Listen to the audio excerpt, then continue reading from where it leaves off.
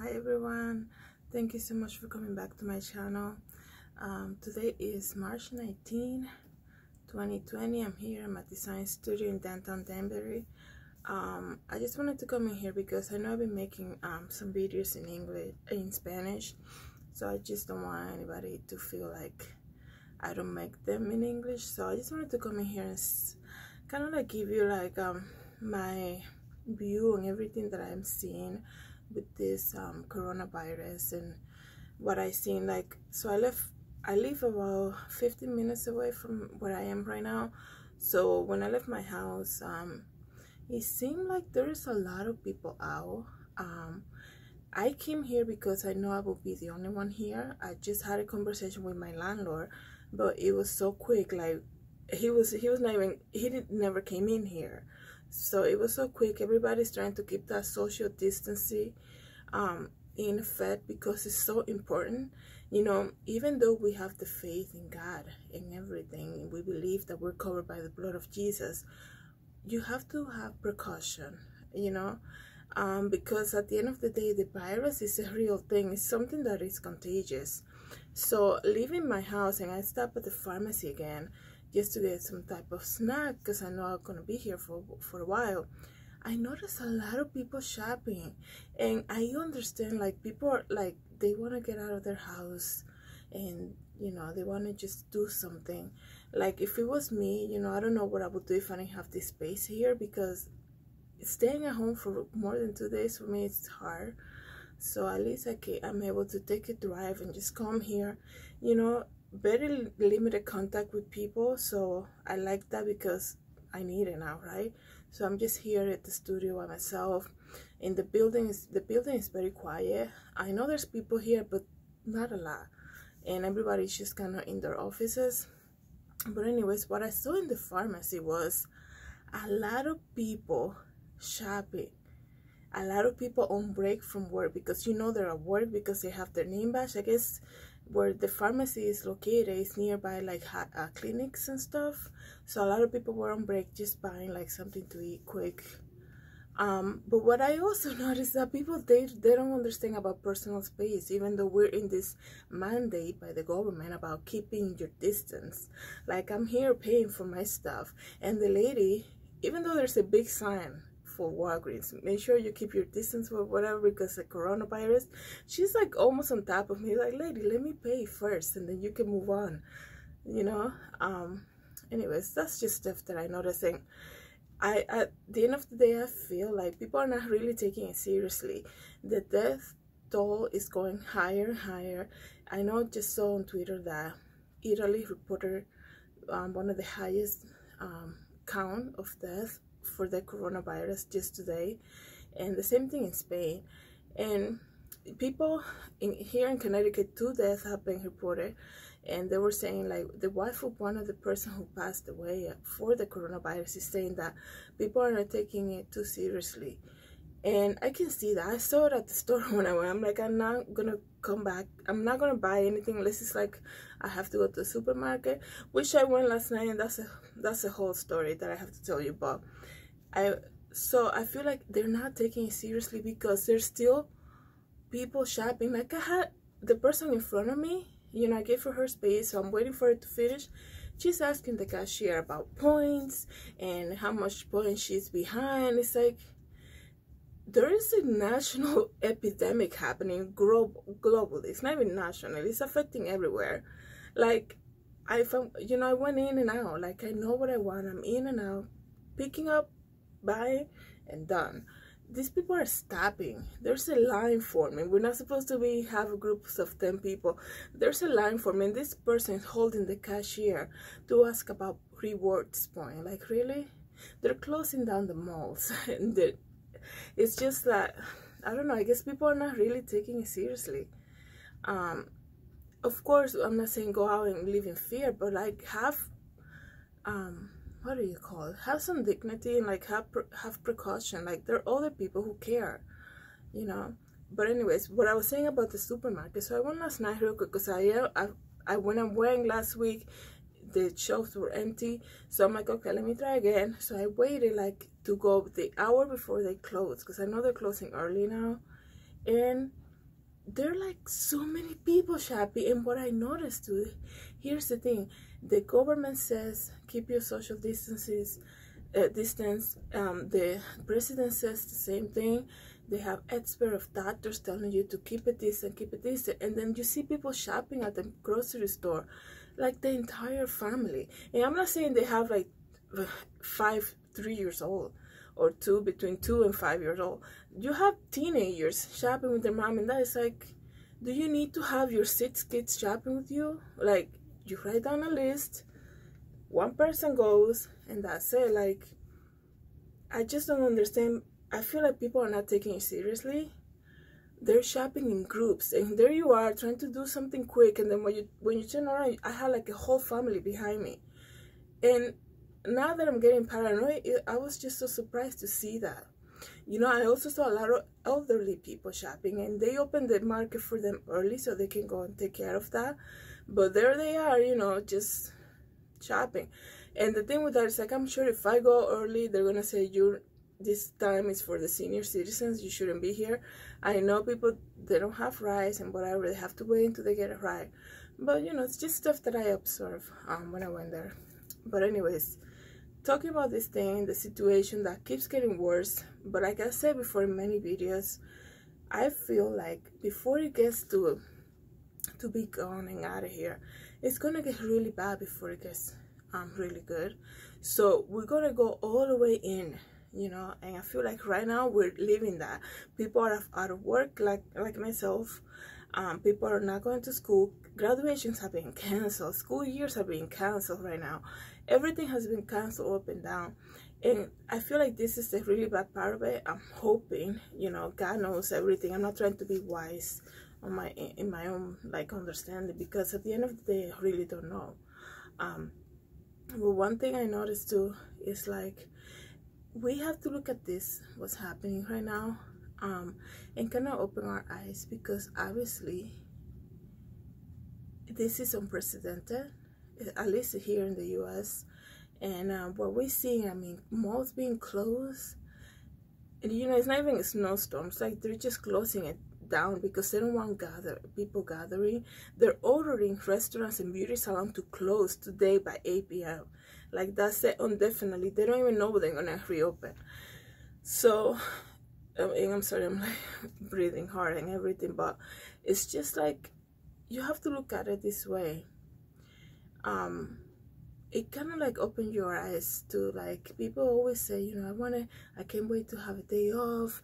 I can't wait to do this and the other. And you know this is my second day being you know of course i'm speaking for myself but this is my second day being off from my other job and i feel like oh my goodness i need to do something um the same thing with um you know not being able to see my mom at the nursing home it's really hard and it's been a week already, a week and a half now, and it's really hard for me.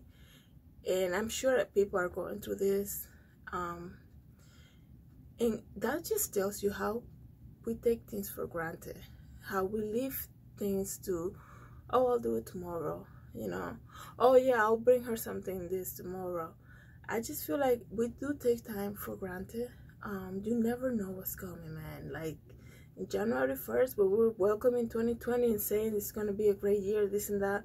And I'm not saying that it's not going to be. I'm just saying, like, you really don't know. Like, in January 1st, China was dealing with this situation, but it was not a threat to us, or at least we didn't know that it, it was ever going to be a threat to us. And here we are, Mar middle of March, and the cities are shutting down in the U.S., which is unprecedented. And I feel like if anything, what we can do, and I mention it over and over again, is pray and get closer with God. Because don't wait for tomorrow. Like, get right with God today. Like, pray wherever you're watching this. Pray and ask God for your forgiveness. Ask God for to forgive you of your sins, to cover you by the blood of Jesus, to fill you with the Holy Spirit, and just pray because Jesus can come any day, any time. Nobody knows when he's coming, obviously. But I'm saying, like, everything that's happening with the, the virus, that tells you how vulnerable we are.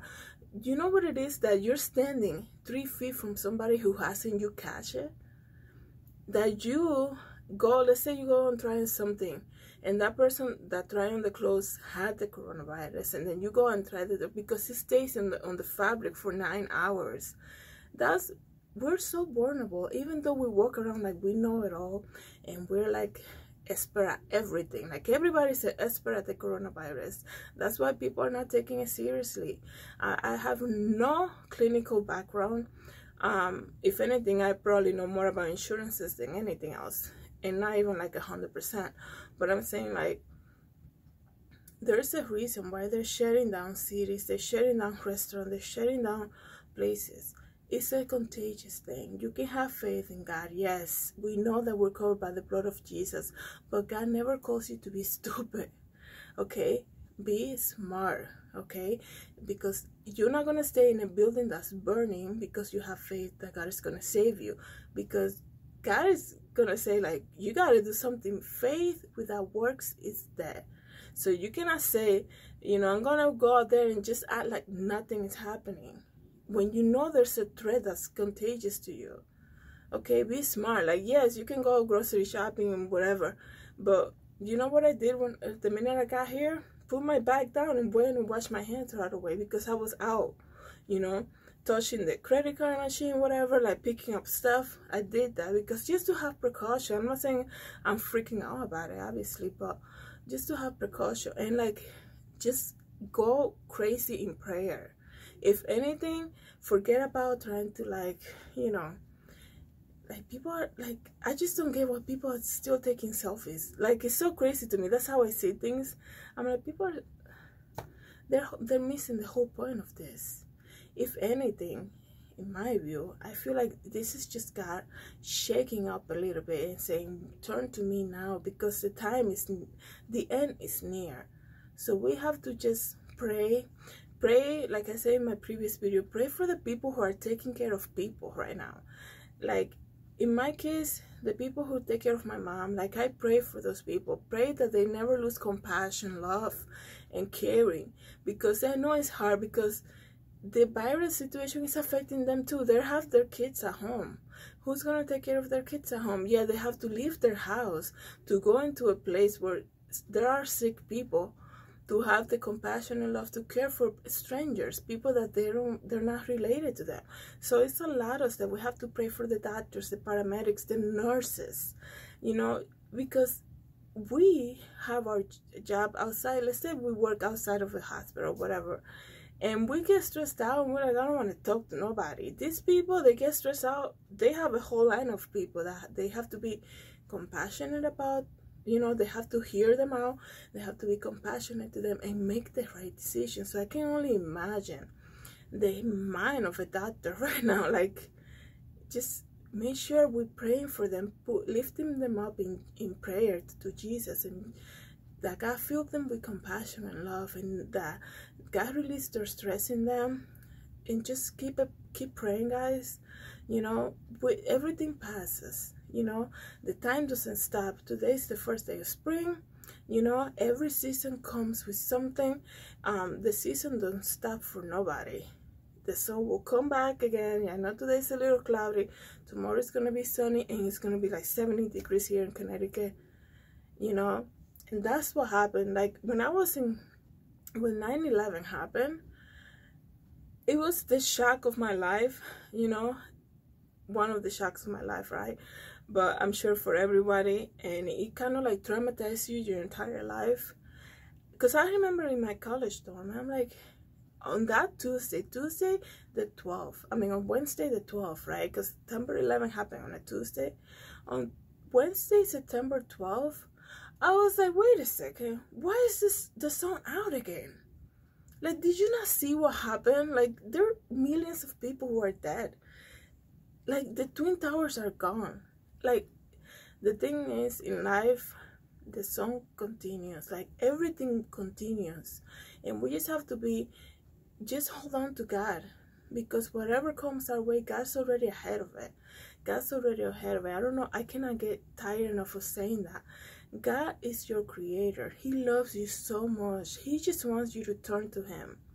He loves you so much that he sent his only son, Jesus, to come and save you, to give you that option to not go to hell for your sins, for your sin, for your weakness, um, weakness, weakness. Having trouble saying that, but you, I, I know you understand what I mean. Um, turn to Jesus. That's all we have, people. You know, don't we can like look at all these people that go shopping every day. Oh, great deals at Walmart, great deals at Target. What are you gonna do with that stuff now? You know? And there's still people who are posting deals.